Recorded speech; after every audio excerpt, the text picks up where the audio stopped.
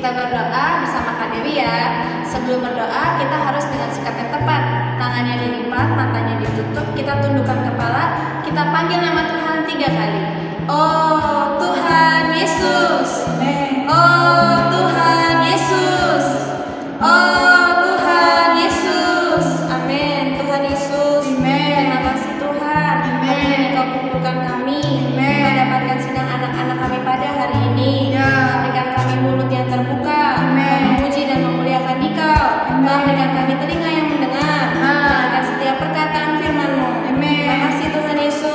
Yesus. Amin. Nah, adik-adik, kita akan uh, bernyanyi loh. Oh iya, kayak nih kita mau nyanyi satu lagu, satu lagu baru judulnya Tuhan ke barat, ku ke barat. Amin.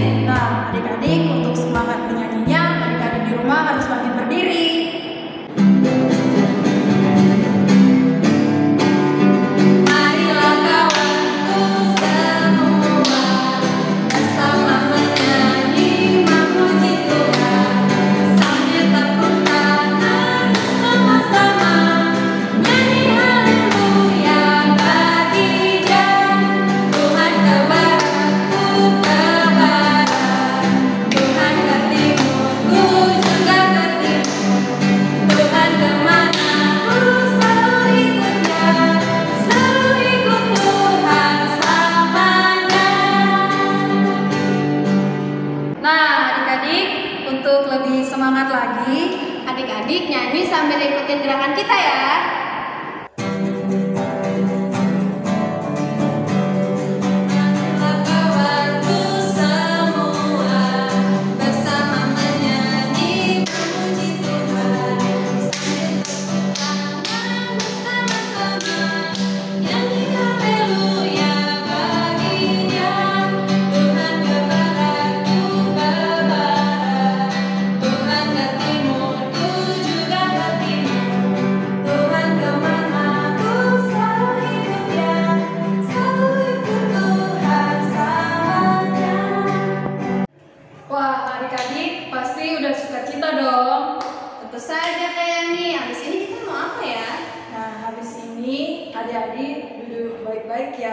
ya, soalnya kita mau mendengarkan cerita yang dibawakan oleh Kak Ingrid. Adik-adik, kita akan mendengarkan firman Tuhan.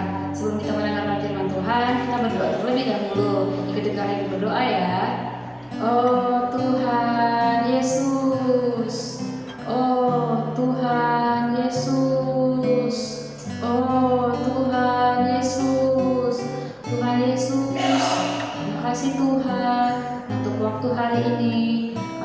mengikuti CGM kembali. Tuhan, dapatkan kami dalam mendengarkan firman-Mu. Kami bisa belajar mendengarkan secara baik-baik dan mengerjakan firman Tuhan. Tuhan, terima kasih. Amin. Nah, firman hari ini kita akan dengarkan mengenai tentang hal kekhawatiran yang ada di dalam Matius 6 ayat 31 sampai 33. Bunyinya, Sebab itu janganlah kamu khawatir dan berkata apakah yang akan kami makan, apakah yang akan kami minum, apakah yang kami pakai. Semua itu dicari bangsa-bangsa yang tidak mengenal Allah. Akan tetapi Bapamu yang surga tahu bahwa kamu memerlukan semuanya itu.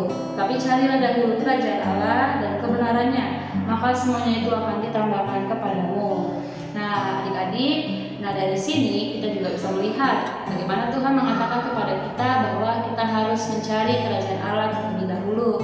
Nah, di dalam prosesnya, di dalam kehidupan sehari-hari, ya kadang-kadang kita sering merasa semuanya itu tidak enak. Tapi dikatakan dalam buku ini, jalan yang benar itu adalah kita mengikuti jalan Tuhan. Mungkin jalan yang kita tempuh itu jalan yang sempit. Adik-adik pernah kan pasti pernah berjalan di jalan yang sempit. Di jalan yang sempit itu pasti tidak enak gitu. Tapi walaupun itu kita harus tetap menempuh perjalanan sempit. Di dalam perjalanan mungkin juga kita akan menemukan banyak sekali eh, belokan-belokan. Perjalanan hidup kita nggak selamanya lurus. Akan ada kesulitan-kesulitan yang kita alami. Tapi adik-adik, nah itu kita tetap harus menempuh perjalanan itu karena di situ kita akan melihat kasih Tuhan kepada kita. Adik-adik, nah mungkin di dalam kehidupan adik-adik pasti sering dimarahi orang tua gitu. Misalkan adik punya punya adik yang kecil tapi nangis. Nah mungkin adik-adik sering dimarahin. Kenapa buat adiknya nangis? Padahal bukan adik-adik yang buat nangis kan? Atau mama papanya adik-adik lagi tidak punya duit padahal adik-adik pengen sekali dibeli ini dan itu. Nah adik-adik jangan marah sama Tuhan ya. Tetap cerita semua kepada Tuhan tentang isi hatinya adik-adik. Tetap berdoa membaca firman karena itulah yang Tuhan inginkan. Nah hmm, di dalam hal kekhawatiran nah pasti Tuhan ada jalan. Misalnya adik-adik sedang ujian, adik-adik nanti ujian semester atau ujian tengah semester pasti bingung nih e, pelajaran-pelajarannya. Apa apa yang dipelajari? Pasti apalagi adik-adik sekolah online yang e, tidak langsung diajari oleh guru tapi adik-adik tetap harus belajar setelah diselingi oleh belajar adik-adik harus tetap berdoa kepada Tuhan supaya adik-adik khawatir adik-adik tidak menjadi uh, ada orang yang uh, gampang mengikuti apa keinginan hati adik-adik. Kita berjalan bersama Tuhan karena itulah yang Tuhan inginkan. Nah firman hari ini semoga menguatkan adik-adik di rumah ya untuk tetap selalu berdoa di tengah-tengah kekhawatirannya adik-adik. Nah, adik-adik, tadi kan kita sudah mendengarkan cerita tentang bagaimana kita tidak boleh khawatir. Sekarang kita akan lanjutkan dengan menghafal yang terdapat di dalam Mazmur 144 ayat 15. Kita sama-sama ya. Berbahagialah bangsa yang demikian keadaannya. Berbahagialah bangsa yang Allahnya ialah Tuhan. Kita sekali lagi ya, biar kita cepat ingat. Mazmur 144 ayat 15 Berbahagialah bangsa yang demikian keadaannya. Berbahagialah bangsa yang Allahnya ialah Tuhan.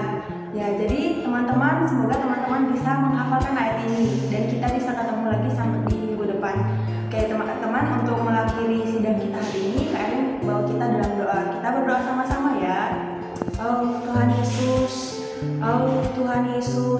Tuhan terima kasih ya Tuhan atas perkataan firman-Mu. Tuhan terima kasih oh Tuhan hari ini kami juga boleh oh belajar untuk tidak khawatir terhadap situasi yang di luar kami. Banyak perkara, banyak oh Tuhan Yesus, banyak hal yang oh kami temui. Namun bahwa kami boleh percaya kepada Tuhan karena Dikau adalah satu-satunya Tuhan kami. Tuhan Yesus,